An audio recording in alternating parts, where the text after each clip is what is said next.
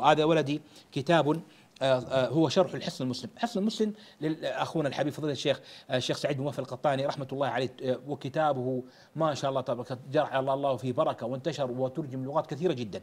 شرح عدد من الشروح منها شرح المؤلف نفسه. المؤلف نفسه لما يتحاف المسلم بشرح حصن المسلم وهو ضخم كبير سبق أن عرضناه. لكن هو نفسه وقف على أربعة من الشروح قبل أن يؤلف كتابه. ذكرها ثم قال إن أجملها وأحسنها وأنفسها هو هذا الكتاب الذي سماه صاحبه فتح المنعم في التعليق على حصن المسلم من أذكار الكتاب والسنة، أما حصن المسلم الشيخ سعيد بن وهب القعطاني، أما فتح المنعم الشرح لأخينا الحبيب فضيلة الشيخ السبتي ابن العربي آه، غديري الجزائري وفقه الله. وطريقته أنه يأتي إلى كل باب. هو يقول أن كتابه جعله نقلا لكلام الأئمة.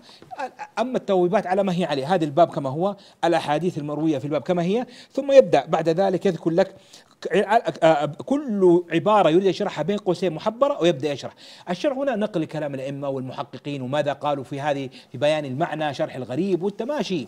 التنبيهات الواردة في كل هذا بعد ذلك يبدأ بعد ذلك كل قوله كذا يشرح قوله كذا ويشرح. فالكتاب مليء بالنقولات وما كلام المحققين والكتاب في مجلد ضخم من إصدار دار الإمام مالك بالجزائر وفقهم الله.